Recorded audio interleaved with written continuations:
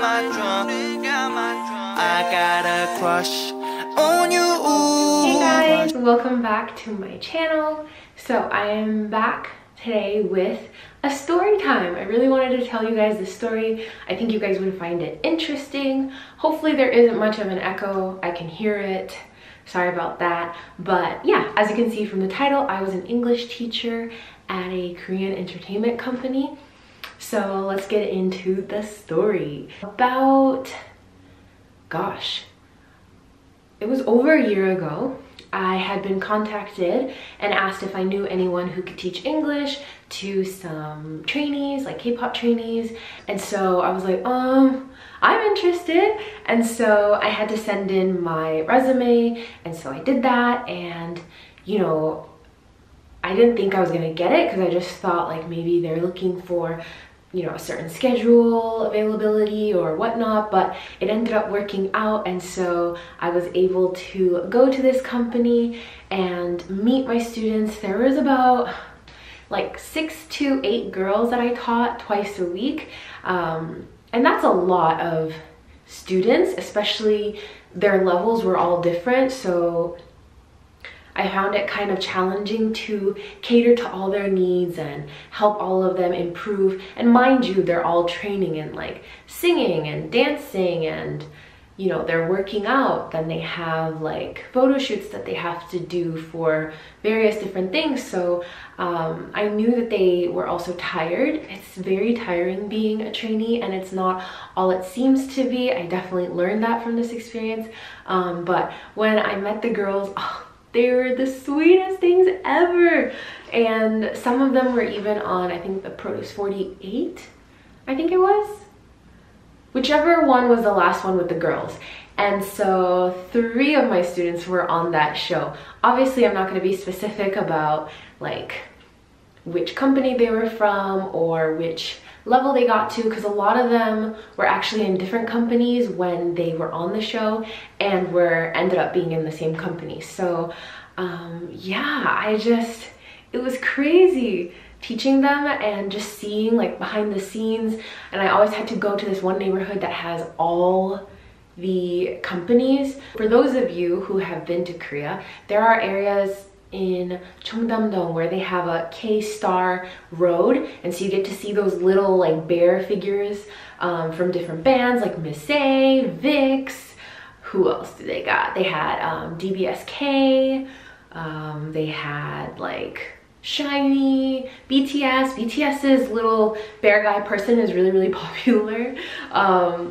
Really really popular. So yeah so i would have to commute there twice a week to teach my girls and it was a lot of fun. And then about i don't know how long into it their same company has a boy band that has already debuted.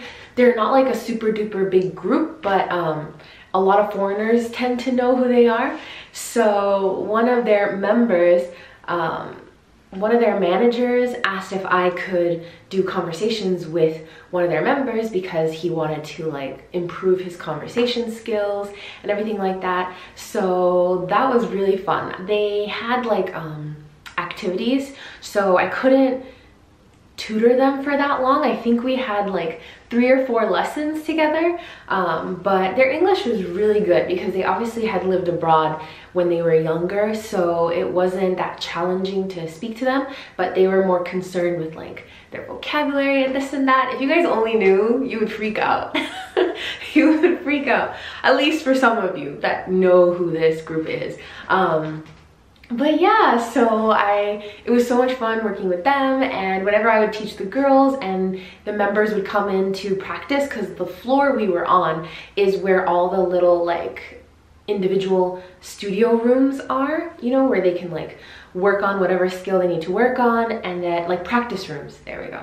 They had different like smaller practice rooms connected to like a studio. And then upstairs they had like a dance studio. And so when I would be teaching the girls, sometimes the members would be upstairs practicing and we could like hear music.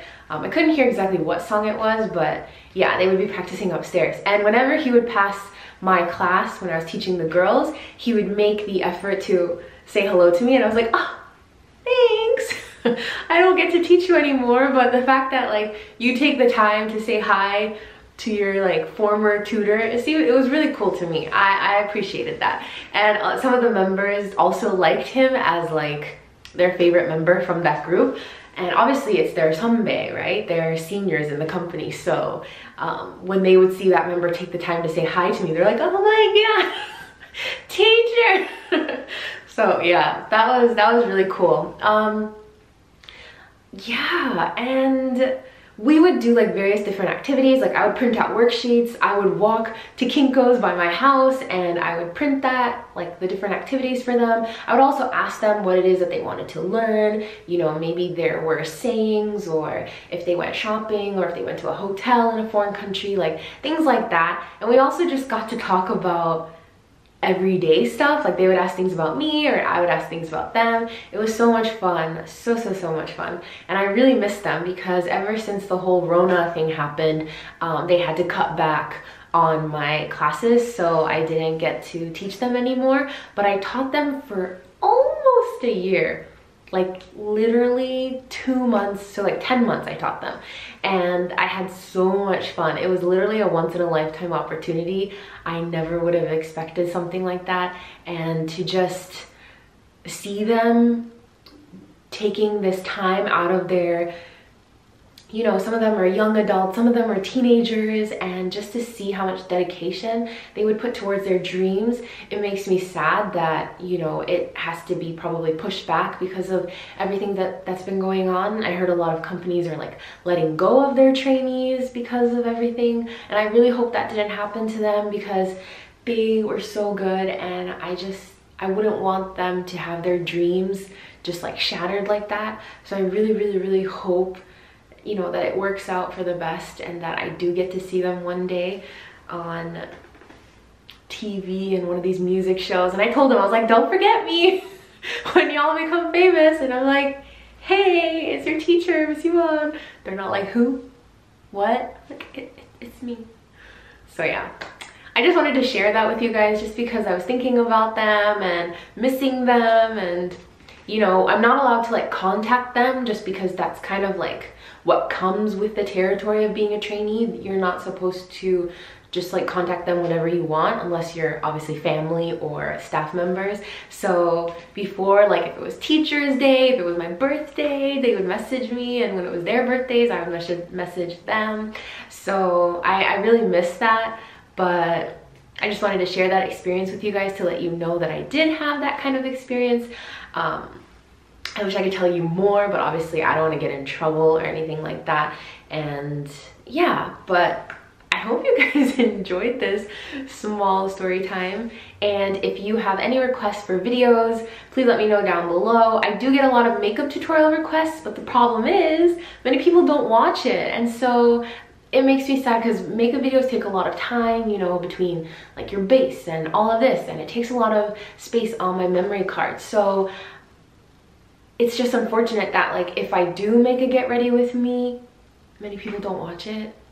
And I want to make videos that you guys will enjoy watching and actually take the time to watch and also videos that I enjoy making because this is fun for me. It's a nice escape from everything. So yeah, let me know down below. A lot of people on Instagram told me they want more vlogs, like fashion stuff, makeup, maybe cooking. I would love to do a lot of those things, even like cafe hopping, but here in Korea, the numbers have gone up with Miss Rona again. So a lot of things are being closed and schools are going online. I'm currently online anyways. I still commute to work to teach, but I teach online on a computer.